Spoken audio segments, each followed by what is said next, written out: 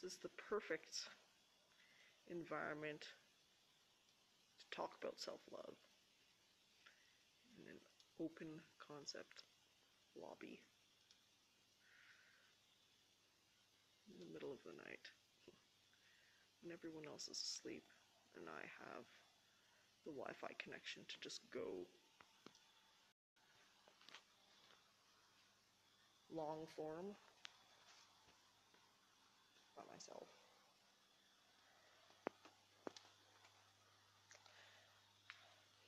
I have so many stories to tell that intertwine in ways that will become apparent after this first stream of consciousness session.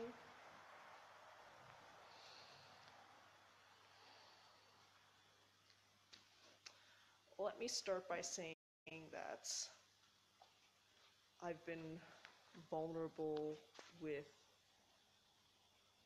nature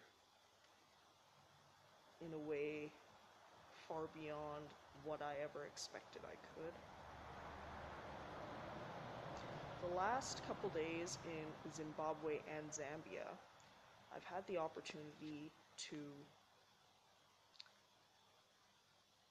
guide my own bushwalks amongst wild animal that frequent our campsites, both inside and along the outside edges. These animals have reinforced patience and respect in me mm. in a way that's maybe sometimes difficult with humans.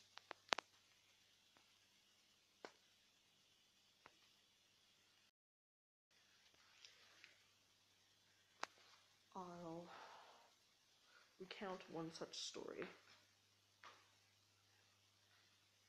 If I can find a still picture of the animal for you to imagine in your head.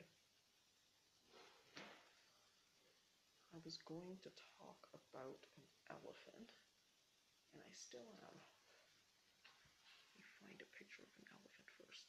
Is there a picture of an elephant?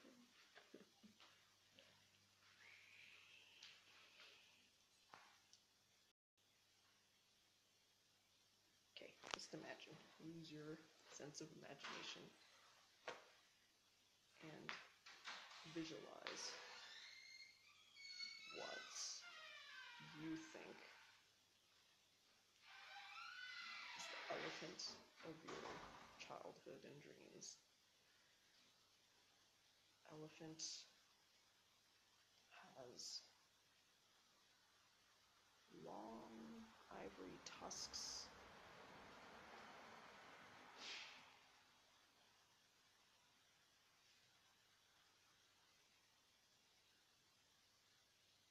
That impale a person.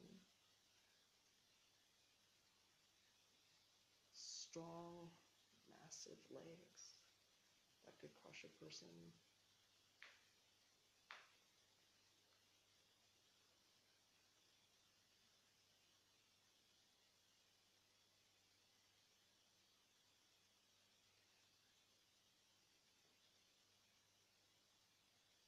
And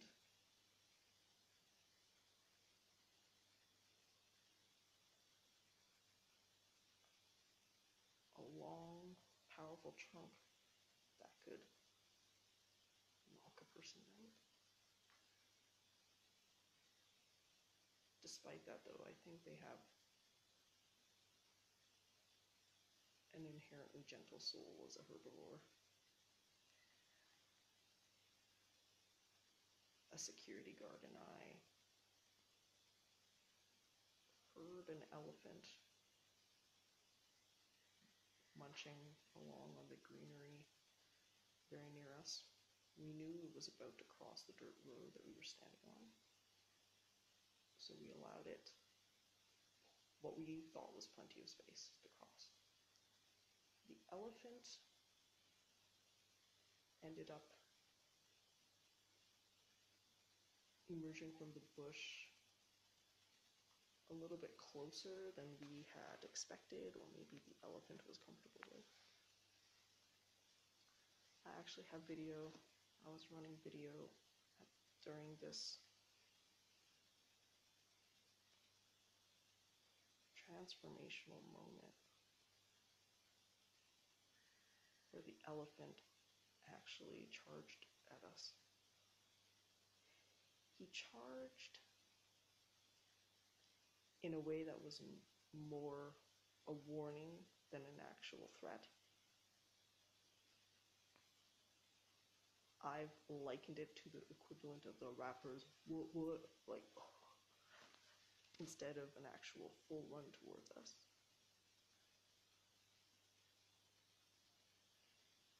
You can still imagine the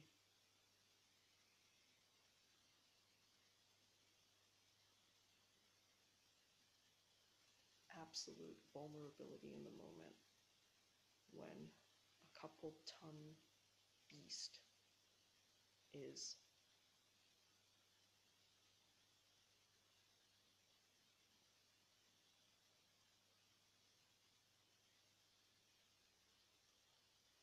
stampeding towards you, even lightly.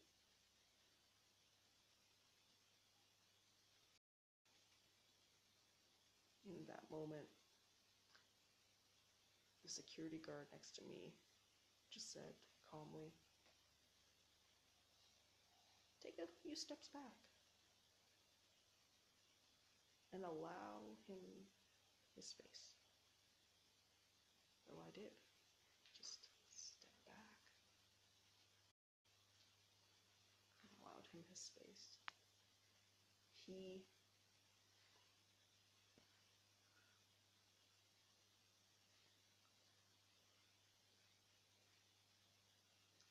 established his boundaries over a couple of these interactions.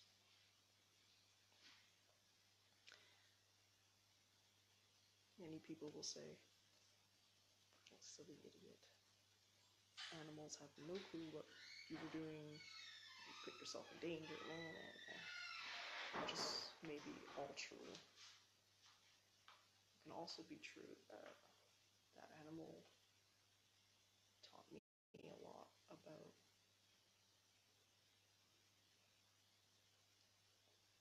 how humans act.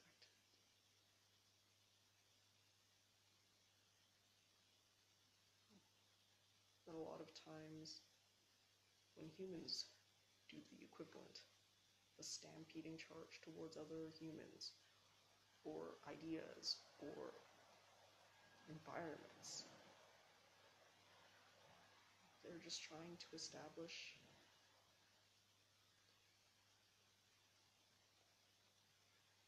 a space of respect and love for themselves.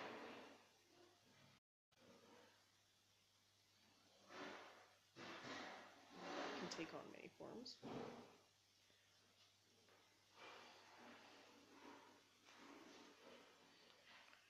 For me,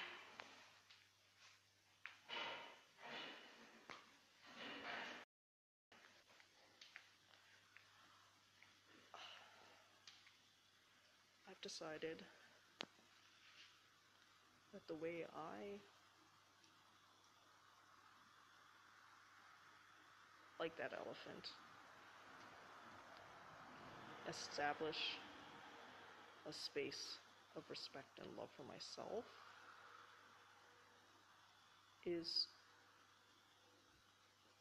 to allow myself to be regardless of how vulnerable it might look to other people.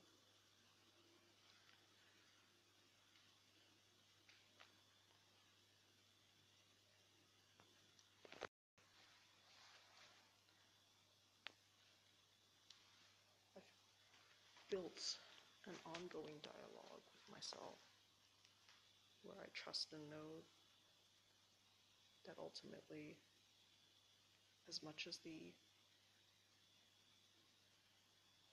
people and animals and environment around me helps me, But after I've assimilated all of the experiences and education that they offer, I have to know what's best for me at the end of the day.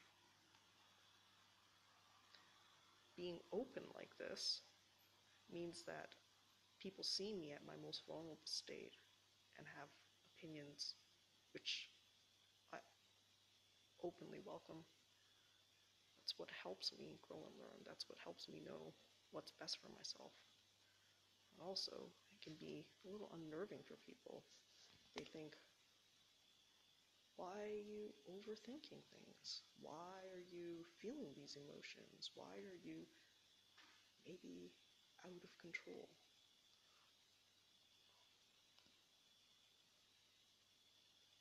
I like to think that I'm an Eminem of sorts.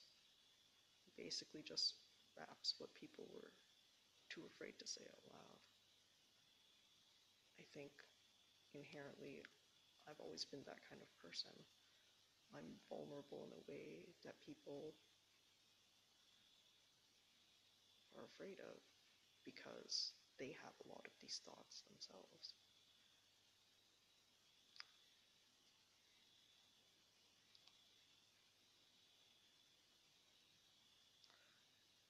more concrete story happened recently in a previous country, and I've only just had the opportunity to record what I think and feel about it.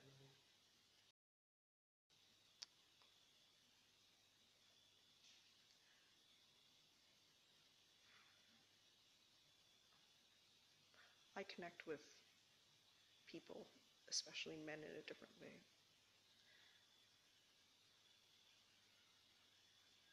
I'm a very real and raw version of myself that many people have yet to encounter in their life, and I'm the first example of being so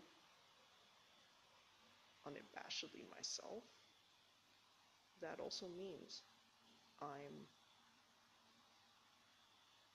the worst parts of myself, the ugliest parts of myself, whatever self shows up at the moment is what I am, and I'm comfortable with that because I know I'm human. I never claim to be a good person, a nice person, a generous person, or any of the other things that a person would want as adjectives to describe themselves. I have always said, though, that I am an honest and authentic person. I think that's much more important.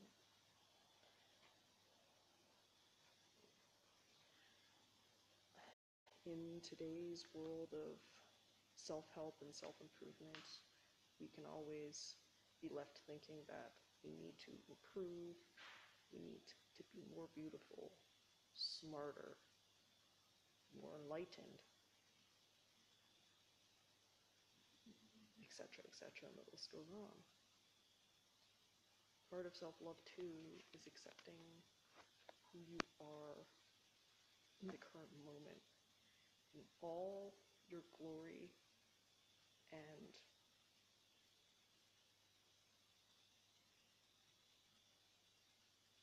shortcomings.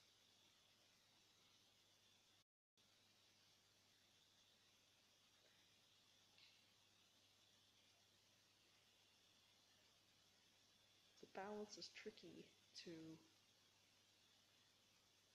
love yourself and improve at the same time. But eventually you'll find that point. You might tip over and come back and find that balance, like everything else in life.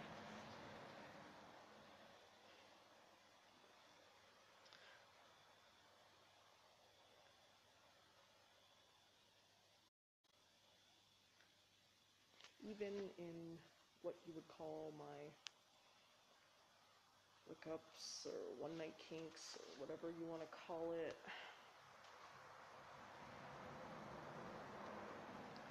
Every single one of the guys I've had a raw emotional intellectual conversation with them about anything and everything under the sun science the meaning of life antinatalism.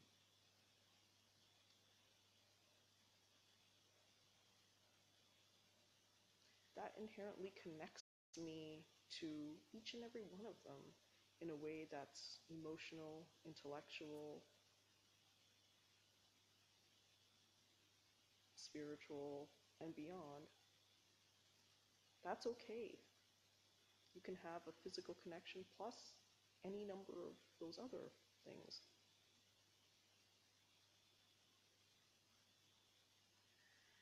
You can also miss that connection when it's gone without falling into the traditional trap of wanting to be someone's girlfriend or wife or mother their kids. I know in today's modern world, things separate in terms of casual versus long term, people have a tendency to want to have hard categorizations like hookup is here, genuine connections are here. That's okay though. You can actually connect with people that you hook up with. That's all right. You can analyze and think about it. They can change your life forever, even if you never see them again. You have to just be vulnerable enough to allow that to happen. There are too many articles online and people's opinions that say, well, you gotta learn to do this, that, compartmentalize, and blah blah going back to my connection, a couple of countries ago now, though it's time wise, maybe only eh, a couple days up to a week, I'm losing track of time here. But I had a connection with somebody. The next day, the rational, logical side of me came in full opposite force instead of spending time with that person like I probably should have, I decided I'm gonna do what I originally planned, which was to paddle board out to a close by natural attraction where you can snorkel and cliff jump. I'm gonna do what I said I would do. I like to jump off ship. I like adrenaline. That's the name of the game. By the time I arrived at the island, I put my contacts in. Even with one out, I could see it. It's standing at this cliff's edge. I've jumped off higher. I've bungeed, I've skydived, I've done every adrenaline sport under the sun and will continue to do so. For whatever reason, I stood at this edge.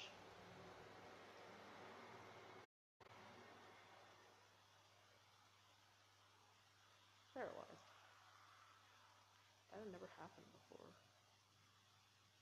The immediate, logical, practical side of my brain said, See, this is exactly what happens. You make connections with people, and then you over so that you are starting to lose yourself, your individuality, your freedom, your ability to do even the simplest things. I backed away from the ledge and essentially cried in front of an entire group of people.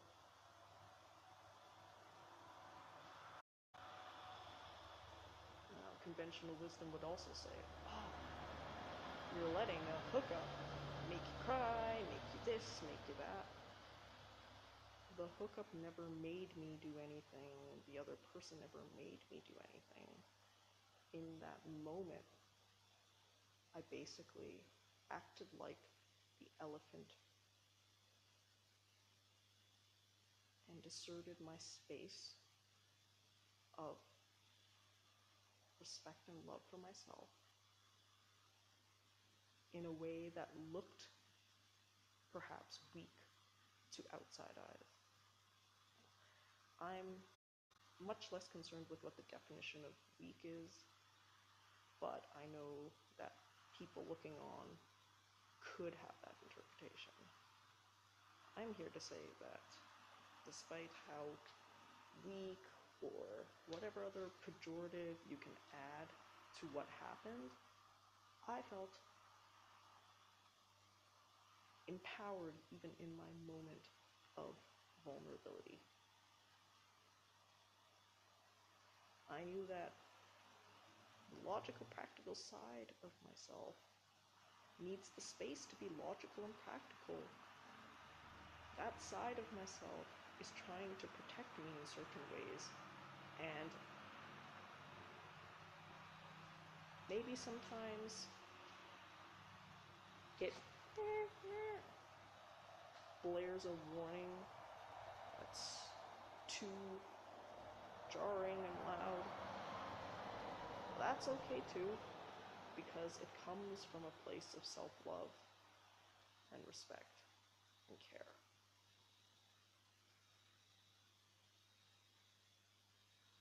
I never did jump off that cliff.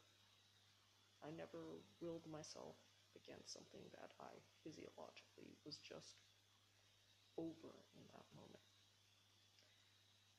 later in Vic Falls, in a couple days, I might bungee 111 meters or swing across a gorge. So I'll have opportunities to satisfy my adrenaline in other ways. In that moment, I needed to just understand that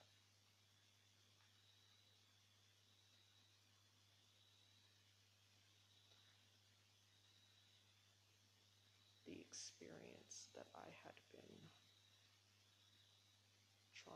with a person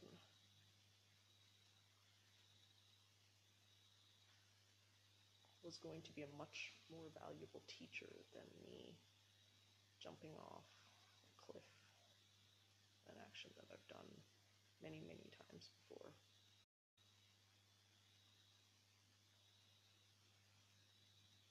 I had to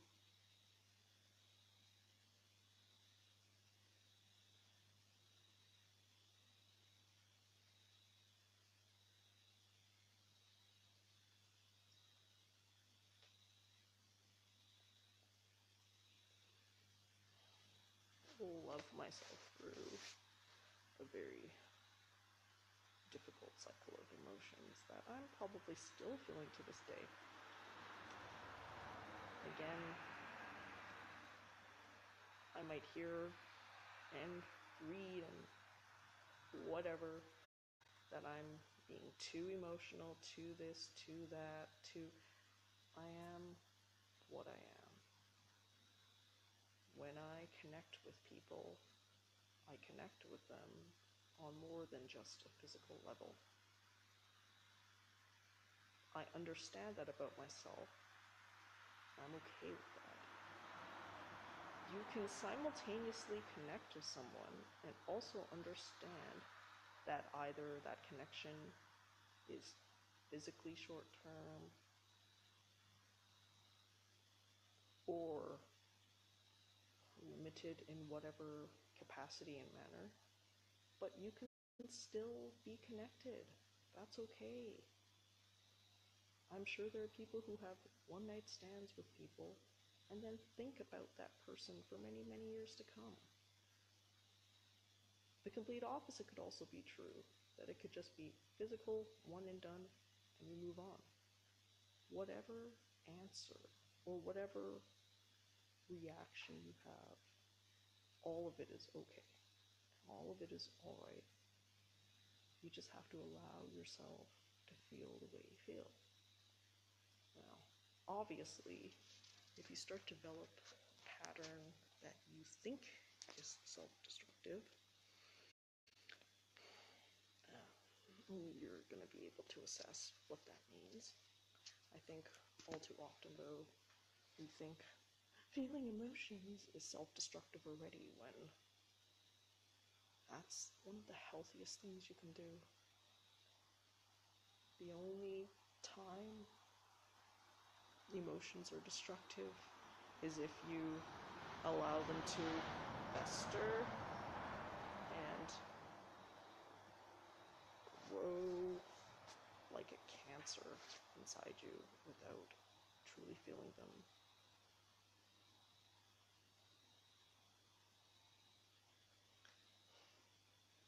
I'm really happy I've had the opportunity to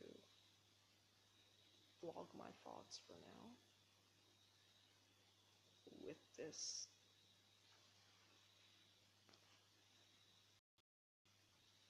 Wi-Fi connection. I'm going to continue, but on some tangential stories related to animals.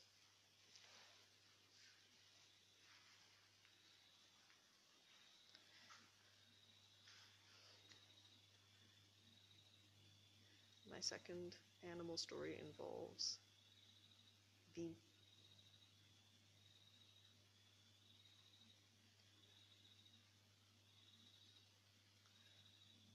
hippo, in particular, the hippo couple that throughout 13 hours trekking on and off with them in a lake allowed me to venture closer and closer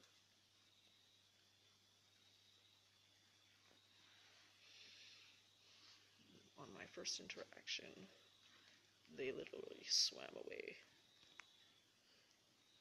As soon as I touched the opposite tip of the lake they were in,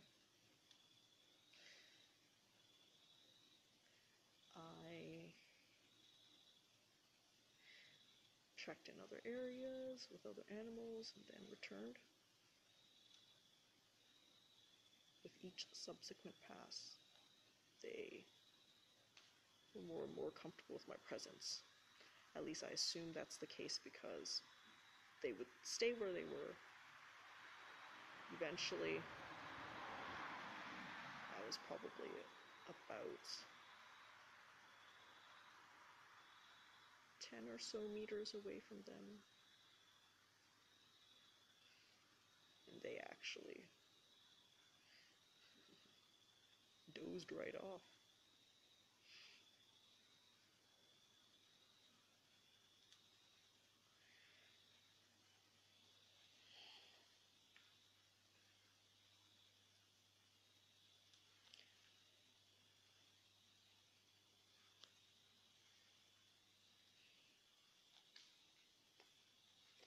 Their exaggerated features are something to behold.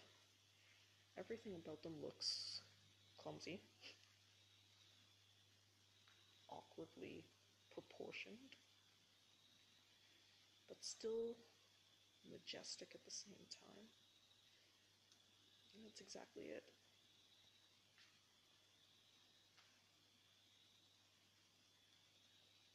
They are, they are.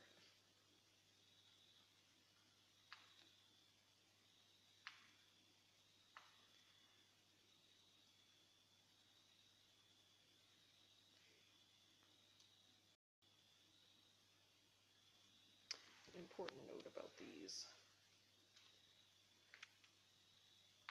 encounters I had on foot. I did them in areas that I knew were habituated to humans, often with locals who know how to interact with animals. I would never just mosey into a bush by myself without some sort of plan or guideline. That being said, obviously, like anything in life, I took a n- number of risks. I'm happy with the risks that I took.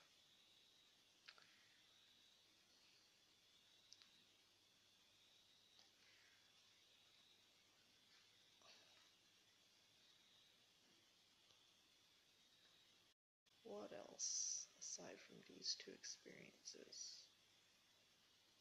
Hmm.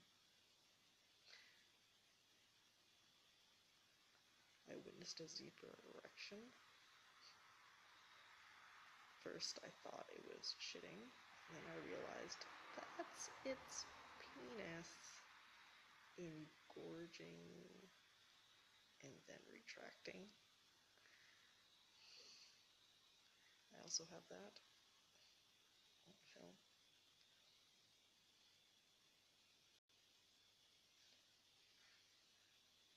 In another unrelated but interesting story, two male hippo in a completely different country fought each other over what I believe is the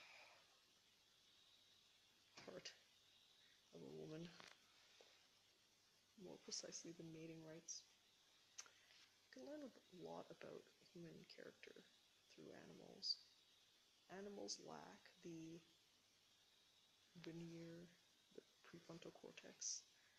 A lot of their actions are just raw and primitive, the way that a lot of human actions are. But our brains have developed the capacity to be analytical, rationalize, etc. Like I might even be doing in this vlog. That's the trippy thing about this life is that we still have such a strong primitive aspect to our brains that a lot of what we think we're doing or why we think we're doing it is an illusion that another part of our more evolved brain creates.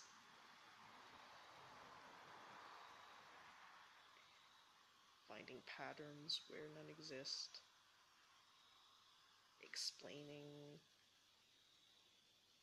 where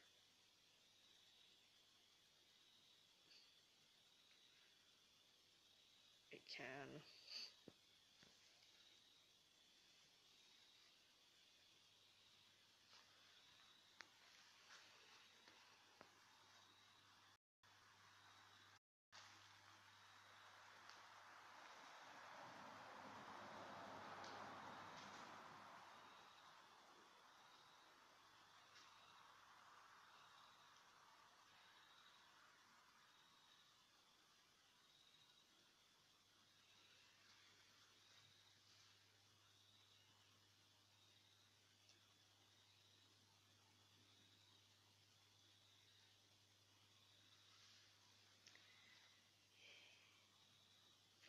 I feel metaphorically free as a bird, as cliche as that sounds. My art, my vlogs, everything about me is.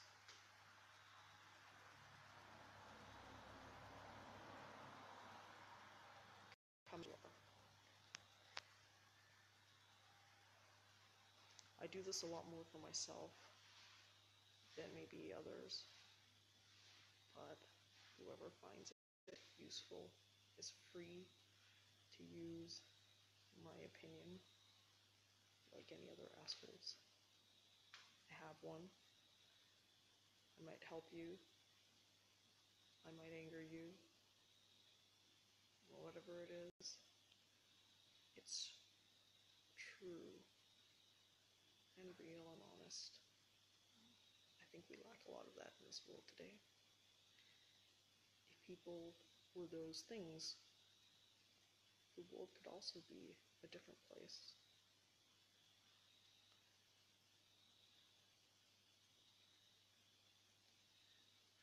I think I've exhausted myself now. In a little bit, I'll be spelunking. I think energy to do so after I listen back to what I've just said and review some previous vlogs. As another side note, vlogging without a script in a stream of consciousness manner has been one of the greatest teachers that I've had thus far in life. The things I learn in watching my old vlogs have helped me accept myself more and also simultaneously grow. Thank you, logical and analytical brain you get bad rep from people and even me sometimes, but I think you're doing what you need to do for yourself. You're being like that elephant, establishing the space of respect, love, and care.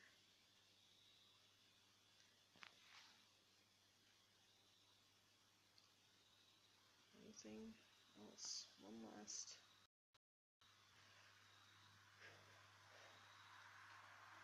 look at this open concept lobby so lovingly supported me to be open.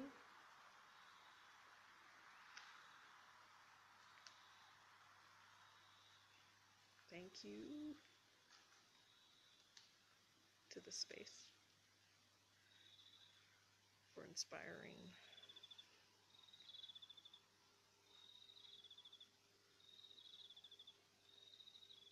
honesty, and creativity.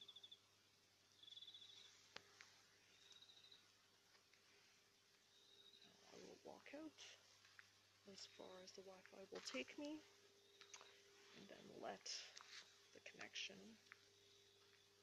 naturally evolve in the way that it needs to.